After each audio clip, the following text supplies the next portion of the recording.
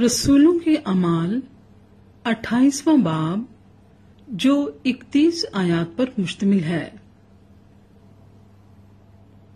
जब हम पहुँच गए तो जाना कि इस टापू का नाम मिलिते है, और उन अजनबियों ने हम पर खास मेहरबानी की, क्योंकि मीकी झड़ी और जाड़े के सबब से उन्होंने आग जलाकर हम सबकी खातिर की। जब पालूस ने लकड़ियों का गट्ठा जमा करके आग में डाला तो एक सांप गर्मी पाकर निकला और उसके हाथ पर लिपट गया। जिस वक्त उन अजनबियों ने वो कीड़ा उसके हाथ से लटका हुआ देखा तो एक दूसरे से कहने लगे कि बेशक ये आदमी खूनी है। अगर जिस समुन्दर से बच गया तो भी अदल उसे जीने नहीं देता। बस उसने कीड़े को आग में झटक दिया और उसे कुछ जरर न पहुँचा। मगर वो मुंतसिर थे कि इसका बदन सूज जाएगा या ये मरकर यकायक गिर पड़ेगा। लेकिन जब देर तक इंतज़ार किया और देखा कि उसको कुछ जरर ना पहुँचा तो और ख्याल करके कहा कि ये तो कोई देवता है। वहाँ से करीब पिब्लियस नाम उस टापू के सरदार की मिल्क थी। उसने घर ले जाकर तीन दिन तक बड़ी मेहरबानी से हमारी मेहमानी की। और ऐसा हुआ कि पिब्लियस का बाप बुखार और पेचिश की वजह से बीमार पड़ा था। पॉलूस ने उसके पास जाकर दुआ की और उस पर हाथ रख कर शिफा दी। जब ऐसा हुआ तो बाकी लोग जो उस टापू में बीमार थे, आए और अच्छे किए गए। और उन्होंने हमारी बड़ी इज़्ज़त की और चलते वक्त जो कुछ हमें दरकार था, जहाज़ पर रख दिया।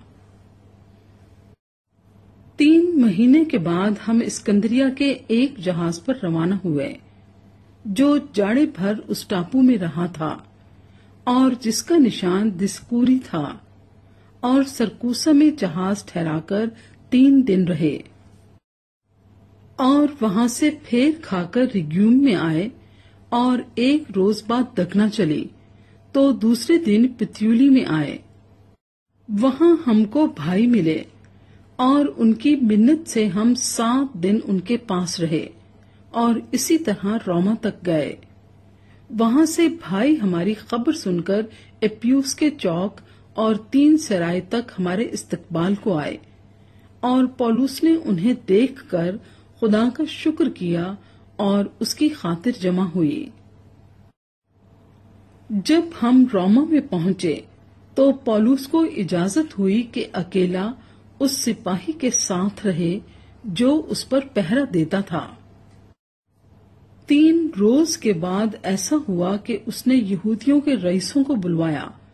और जब जमा हो गए तो उनसे कहा ए भाइयों, हर चंद मैंने उम्मत के और बाप दादा की रस्मों के खिलाफ कुछ नहीं किया। तो भी यरूशलेम से कैदी होकर रूमियों के हाथ हवाले किया गया। उन्होंने मेरी तहकीकात करके मुझे छोड़ देना चाहा, क्योंकि मेरे कत्ल का कोई सबब न था। मगर जब यहूदियों ने मुखालफत की तो मैंने लाचार होकर कैसर के यहाँ अपील की। मगर इस वास्ते नहीं कि अपनी कौम पर मुझे कुछ इल्ज़ाम लगाना था। बस इसलिए मैंने तुम्हें बुलाया है कि तुमसे मिलूं और गुफ्तगु करूँ, क्योंकि इसराइल की उम्मीद के सबब से मैं इस जंजीर से जकड़ा हुआ हूँ। उन्होंने उससे कहा, ना हमारे पास यहूदिया से तेरे बारे में खत आए। न भाइयों में से किसी ने आकर तेरी कुछ खबर दी, न बुराई बयान की।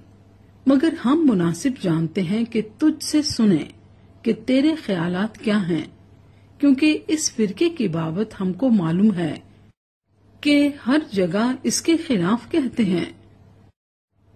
और वो उससे एक दिन ठहरा कर कसरत से उनके हाथ जमा हुए। और वो खुदा की बादशाही की गवाही दे देकर और मूसा की तौरेत और नबियों के सहीफों से यीशु की बाबत समझा समझाकर सुबह से शाम तक उनसे बयान करता रहा।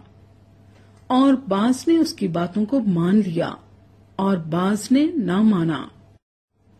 जब आपस में मुत्तफिक ना हुए तो पौलूस के इस एक बात के कहने पर रुखसत हुए कि रूहुल कुद्स ने यसाया नबी की मार्फत तुम्हारे बाप दादा से खूब कहा कि इस उम्मत के पास जाकर कह कि तुम कानों से सुनोगे और हरगिज ना समझोगे और आँखों से देखोगे और हरगिज मालूम ना करोगे। क्योंकि इस उम्मत के दिल पर चर्बी छा गई है। और वो कानों से ऊँचा सुनते हैं और उन्होंने अपनी आँखें बंद कर ली हैं।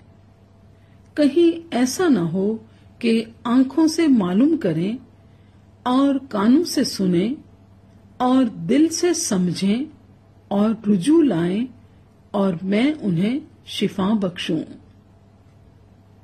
बस तुमको मालूम हो कि खुदा की इस निजात का पैगाम गैर कौमों के पास भेजा गया है, और वो उसे सुन भी लेंगी। जब उसने ये कहा तो यहूदी आपस में बहुत बहस करते चले गए, और वो पूरे दो बरस अपने कराए के घर में रहा।